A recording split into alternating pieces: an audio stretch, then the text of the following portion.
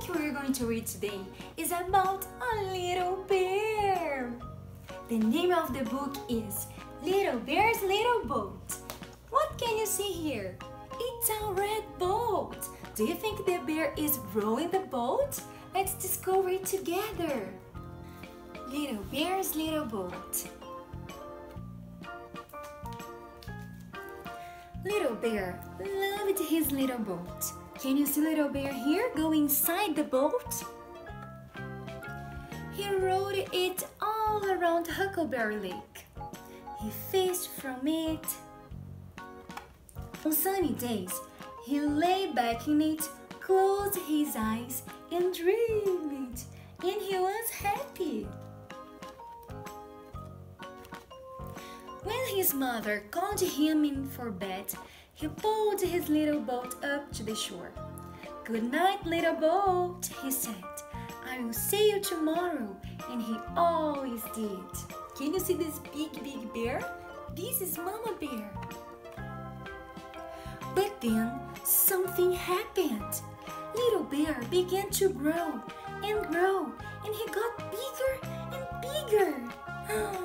Do you think little bear fits in the boat now? Or not anymore?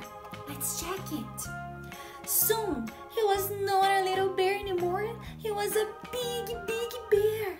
And he didn't fit in his little boat. Oh no, now little bear couldn't play in the boat. He tried to sit in it as it bobbed on the lake. But he and the little boat both sank down to the bottom of the blue, blue water. Where are you, my big bear? Mother called. Big Bear and his little boat both spluttered up. Gluck, Big Bear said. You are too big, Bear, now to fit in that little boat, Mama said. It's a little bear destiny to grow and grow till he is a big bear. And it's a little boat's destiny to stay the same size. Little bear was growing up, but the boat, the boat was the same size. He'll never grow. Big Bear was sad. I can't leave my little boat with no bear to sit in it, or fish from it, or dream in it, he said. It's a little boat's destiny to keep sailing on a blue, blue lake. He scratched his head. Find another little bear who will love my little boat the way I love it. Little Bear wants to share and donate the boat. Big Bear walked around Huckleberry Lake. Have you seen any little bears anywhere? He asked Beaver. Not since you were a little bear yourself, Beaver said. Otter hadn't seen a little bear either. But Blue Heron had.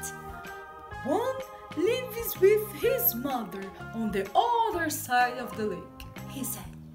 I saw him eating berries this very morning.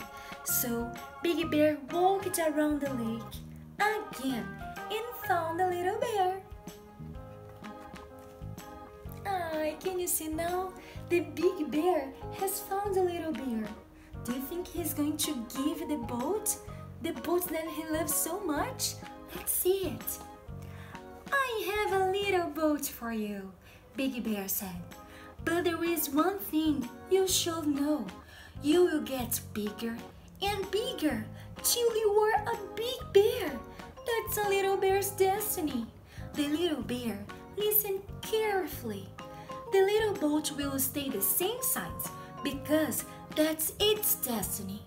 When that happens, you must find another little bear to fit in the little boat because it is also a little boat's destiny to keep sailing on the blue, blue lake. Will you promise? I promise, the little bear said. All summer long, Big Bear saw the little bear rowing the little boat around the lake and fishing from it. Can you see the little bear catching some fish?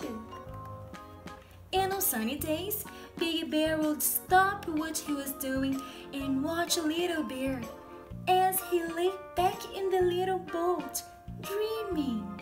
Big Bear could tell that the little bear was happy. The big bear gave the little boat to another little bear, and now the little bear is happy, big bear is also happy. Big Bear was happy too. Now he was making a big boat for himself. Sometimes we can't use a toy or something that we like so much anymore. So we can share, we can donate, we can give it to someone else and everybody will feel happy. Bye bye!